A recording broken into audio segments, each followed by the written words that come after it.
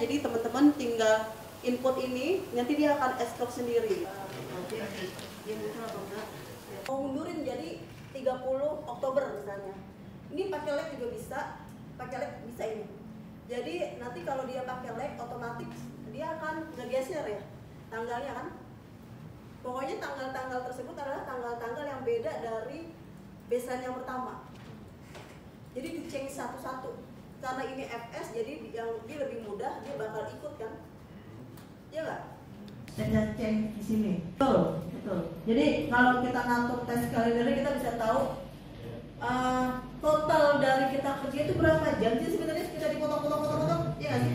Kita bukan cuma sekedar bikin schedule ya tapi kita tahu uh, membagi work breakdown breakdown structure ini. Menjadi urutan-urutan kecil jadi kita bisa uh, gampang memudahkan kita untuk memonitoring semua pekerjaan